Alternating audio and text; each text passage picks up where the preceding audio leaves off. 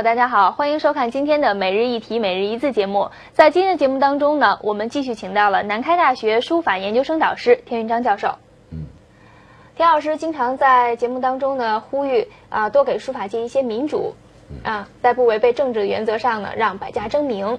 譬如说，呃，您也曾在节目当中批评过啊，书法展览中这个少数评委啊，少数评委自己说了算，哎，只有呃，只有这种一家之言。呃，那么我想问一下田老师，嗯，这种情况啊，在目前这种书法展览当中还是存在的。呃，那您经历过真正的民主评选吗？你说的是在书法展览当中，对，呃，经历过没经历过？呃，真正意义上的这个民主评选这个过程，呃，应该说有，有过一次，但是这一次也是令人啼笑皆非的一个过程。给我们大家讲一讲。这个大约是在五六年以前，或者是四五年以前，时间记不太准，估计在五年左右吧。呃，中国书协搞了一次叫做“中国书协会员优秀书法作品展”。搞这么一个活动，我再说一遍，它的题目叫做，呃，中国书协主办的啊，叫中国书协会员书法呃优秀书法作品展，哎，这个，然后呢，呃，分配在各个省，包括咱们这个天津直辖市，呃，分配了这么呃名额，有指定一些名额，在天津大概给到十七个名额，我印象当中是这样，十七个名额。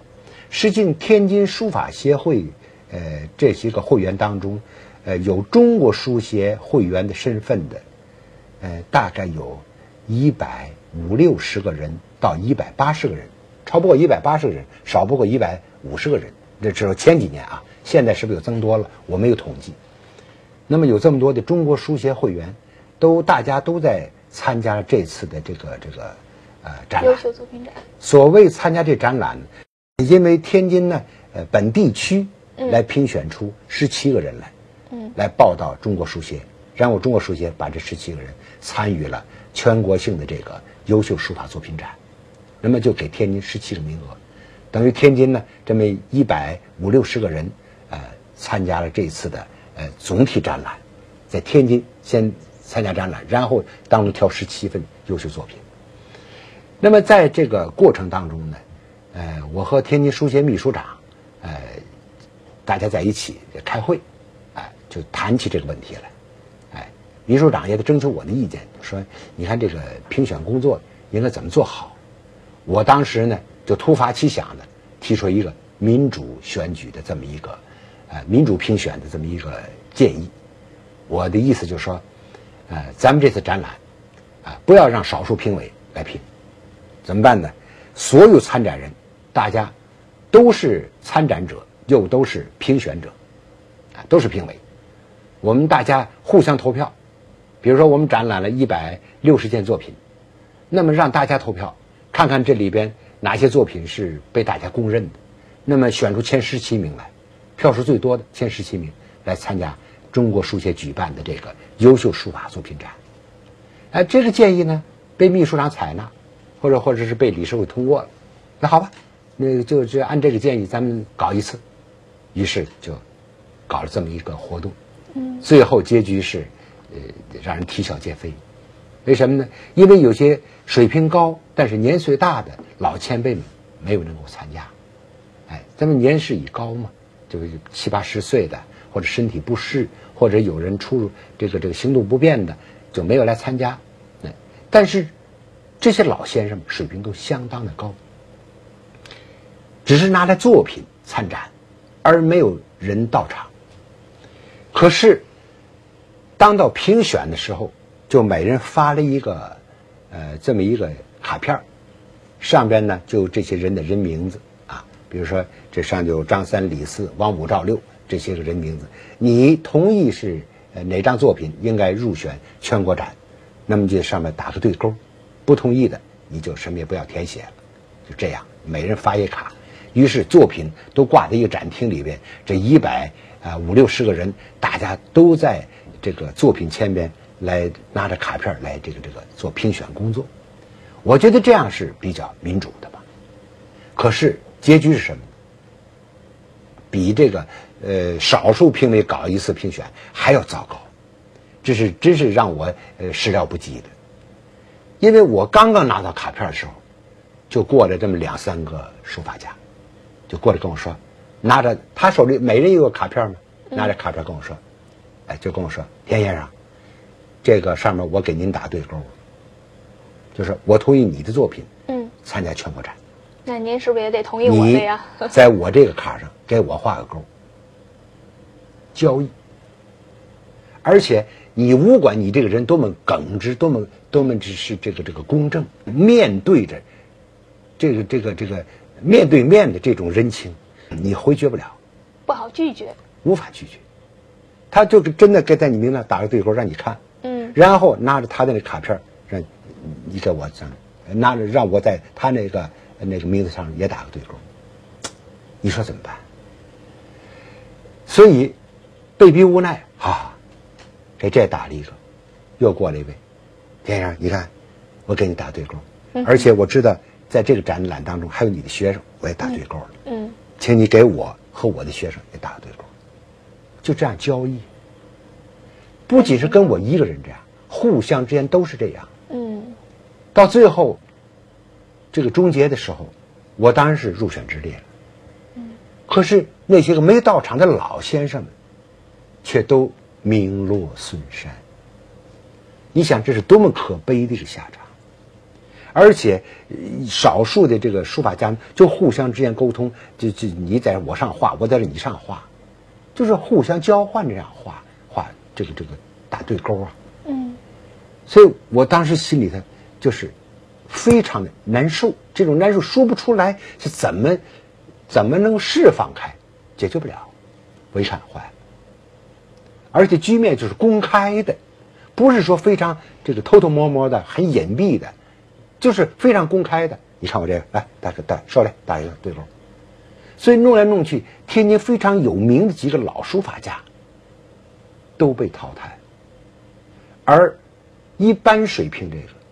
都跑到前面来了，所以我当时最后定了十十几个人呢，定了十八个人，不是投入选十七个人吗？嗯，因为有两个人同时都是十七票，这两个人要选一个，而必须拿掉一个。我在这时候表态了，我说我向大家道歉，这个民主这个选举。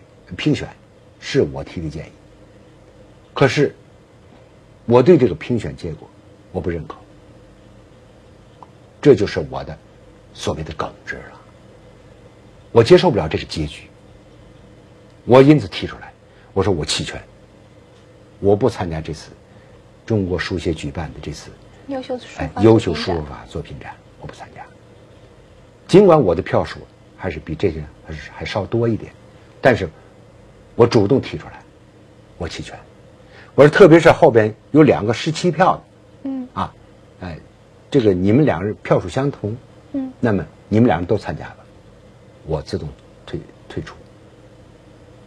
结果大家都很惊愕，说这这好吗？这样，而且意见是你提出来的，最后你不参加，嗯，我说我想不到是这种局面，我因此我我。就是啊，就像辞职一样，引咎辞职。我这把我自己淘汰。结果秘书长就非常认真跟我说：“你你这样说，你负责任？你真的弃权吗？”我说：“真的弃权。”那你弃权好吧？那就那个那两位就同时加入了。其中有一位加入者，就是呃，就是两个人竞争的一个票数的人，就说出来：“哎，天先生，我感谢你吧。我估计我们俩人在最后的讨论当中，恐怕我还得落选。”你把这名额让出来了，嗯，那么我感谢你，中午我请你吃饭。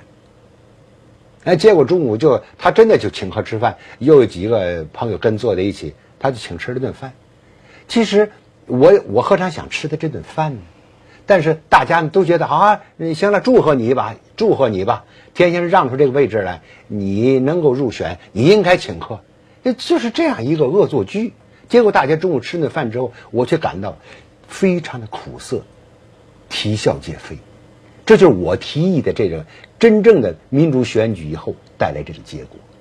因此，我思想非常矛盾。我的矛盾，在原则上，我仍然提倡，一定要民主选举，不要让少数评委说了算，这是我的一贯的主张。虽然这次失败了，但是给我提醒，敲这个警钟，就告诉我，我们的这民主需要有一个时间，有个过程，由大家慢慢接受和呃逐渐适应的一个过程。在初期的这个阶段当中，肯定还有会呃杂七杂八的一些个东西来介入，不健康的东西、腐败东西介入进来，但是不要因此而因噎废食，就说民主一定要坚持。那么在呃，我还是前提就是在呃不影响政治这个大原则情况下，要多在学术方面给予书法界一些更多的民主。这是我的建议。尽管那次的，呃，所谓民主选举失败了，但是我仍然痴心不改，希望民主继续发扬民主。大家虽然在现实当中还不能完全适应，渐渐渐渐的有个过程就会适应。啊，我相信民主的到来就是书法家、书法界的一件幸事，应该对书法的发展一定会起到。非常有意义的作用。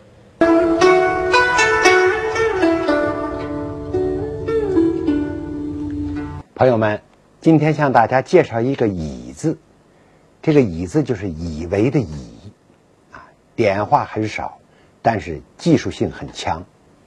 我们把这个字介绍给大家，先用楷书，或者准确的说，用欧体楷书的这种风貌向大家介绍一下。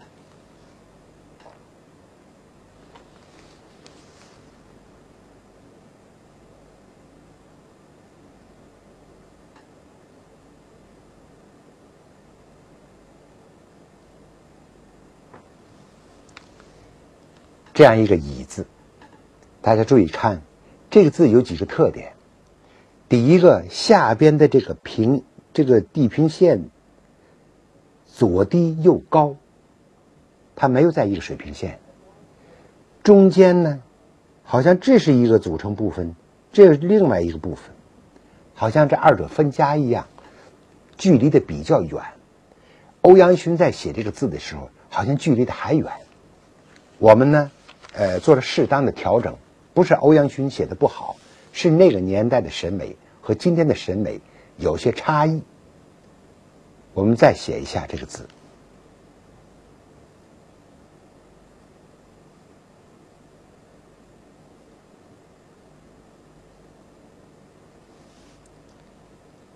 这个点儿啊，必须点在这个位置上。如果点的正当中来，这个字显得。好像是严谨，实际上就没有味道。假如说我们把这个点儿点在这当中这个位置，实际上这样写没有味道。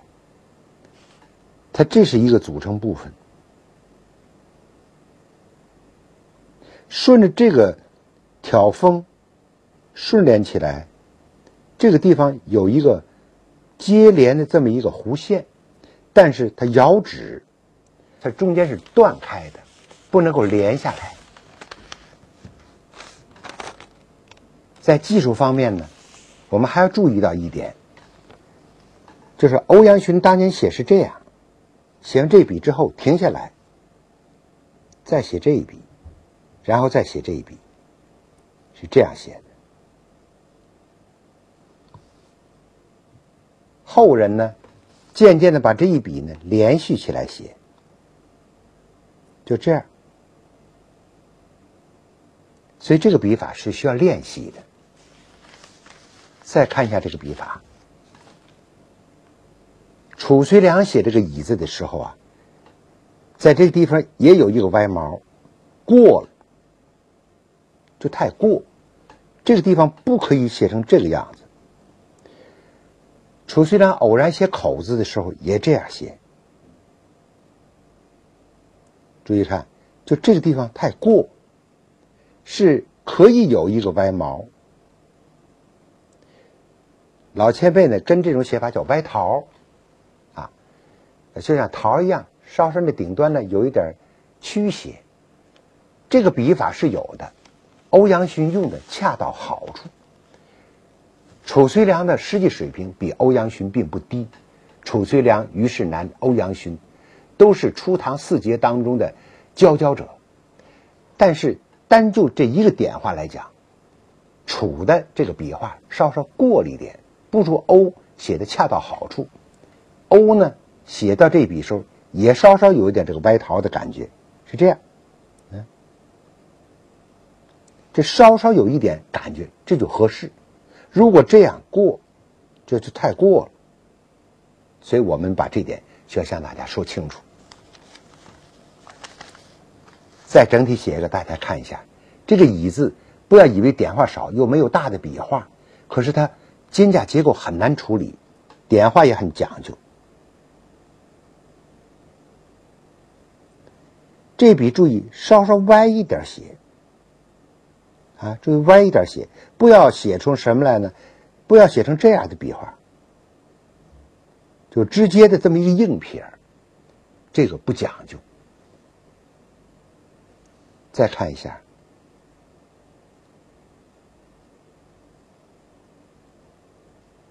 也就是在这个地方，它稍稍好像有点引带的作用，但是你要把这断裂开来，又看到这笔呢，有一点这么个趋势。不要太过，啊！再要注意一点呢，就是实一实际意义上的这一这个撇儿，这个短撇儿，哪一笔呢？就是这个，注意，注意，就这一笔，撇的时候一定要往里撇，往这俩斜视撇，不要往下写。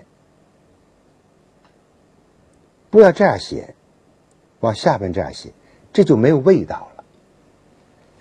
我们有时候也非常的赞佩这个赵孟頫，就说他对于这个有些技法上的东西，他真是啊研究到家了。他懂得写“乙”字的时候啊，这一撇不能够往下写，必须要横着写，向横处写。于是他宁可把这个这个撇儿写纠写过了。就是撇儿应该总体来说还是向下的，啊，但是他宁可几乎写平了，他也不写垂直，呃，不向的这个竖式方面发展。他写的时候，我们见他他写乙字的时候是这样写，这一笔平的这样来，他宁可这么平，他也不让他这样写。所以在写这一撇的时候。我们就明白赵孟頫太懂得这个这个笔意了，他宁可这样写，啊，这就稍稍过了一点，但是宁可这样过，它符合法则。如果你这笔你是这样写了，这这就不能用，失败了。所以大家要明白，写这个“乙”字的时候，一定注意这个撇儿要向平处发展，当然不能是直平的。再看一遍，是这样，总体趋向是这样一个发展，不能是这样，一定注意这一点，这是写好“以”字的一个关键所在。好的，我们把结构问题、笔法问题都向大家介绍这么多。另外呢，跟大家说一下这个字啊，还有一种写法，比如说在魏碑当中呢，它这边直接写个三角。然后这边再这样写，这样是可以的，啊，这样可以，也可以这样，可以这样写。还有一种异体字，上面写一个扁口，再写这一竖，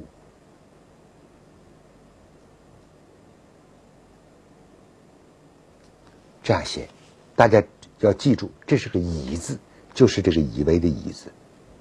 是这个字，这是个异体写法。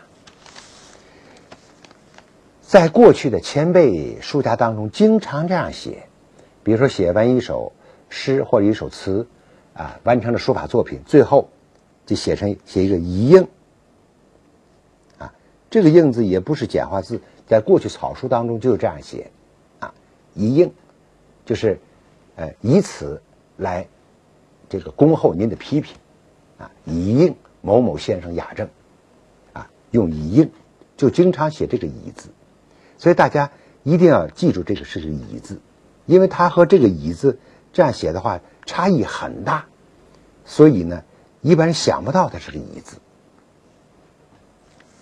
这是我们从楷书呢介绍了笔法、啊结构和这种这个异体字的写法这几种。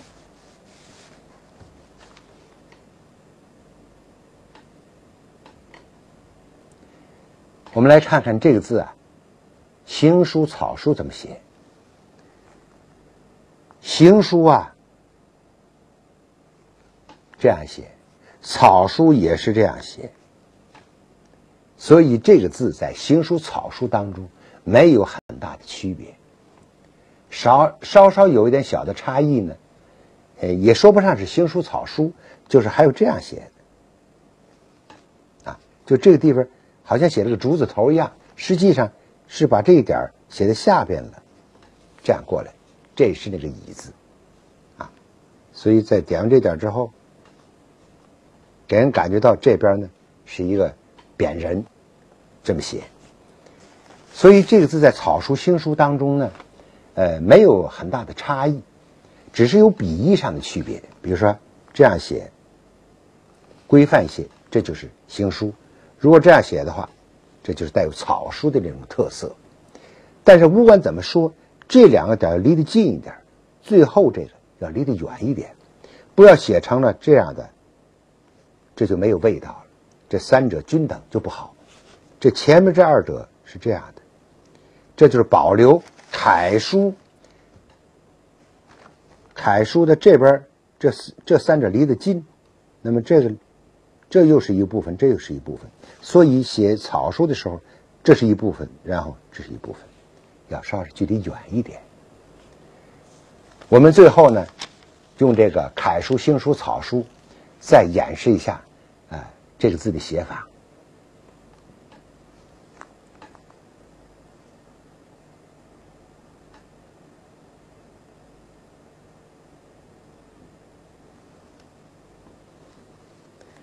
再注意看，我们用这个异体字呢，写个行书给大家看。再看看草书的写法，或者是这样写法，这就是“乙”字。大家不要小看这个字，点画很少，而且又没有什么呃比较长的横竖撇捺都没有。就是这么简短的几个小的点画组在一起，却是非常难写，而且不管是文言文还是白话文，经常的使用这个字，因此大家务必要把这些“乙”字写好，不可小看它，“乙”字是有难度的。